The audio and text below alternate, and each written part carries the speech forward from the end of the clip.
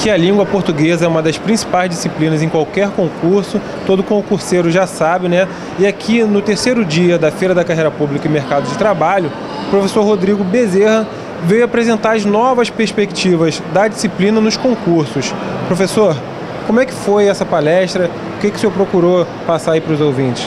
Olha, nós tivemos uma grande receptividade e, como eu disse, eu trouxe um tema novo, um tema para mexer realmente, para fazer com que o concurseiro repense a, o estudo da língua portuguesa, como ele se prepara. Por quê? Porque nós temos tido provas difíceis, provas complexas, e eu tenho recebido um retorno dos alunos sempre dizendo, professor, o que é que está acontecendo, o que é que está havendo.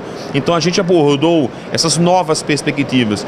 Por que, que as provas de português estão tão complicadas? Mostrando para o candidato que cada vez mais ele precisa de um estudo correlato, de um estudo articulado da língua portuguesa, sob pena de ele não obter êxito indiscutivelmente é uma prova de abertura do concurso. Então, se eu me desestabilizo emocionalmente no início da prova, provavelmente eu vou ter complicações para o resto da prova inteira.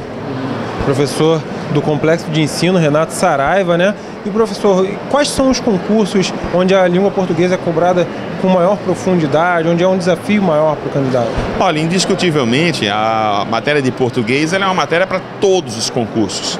Né?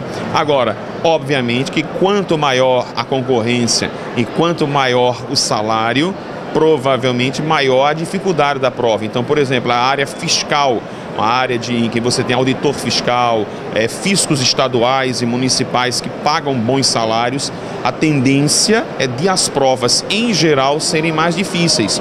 E a nossa língua portuguesa vai na mesma, no, mesmo, no mesmo esteio, na mesma, eu diria você, no mesmo caminho que é dificultar. Mas deixando bem claro que português é para todos os concursos e é indiscutivelmente uma matéria que é carro-chefe.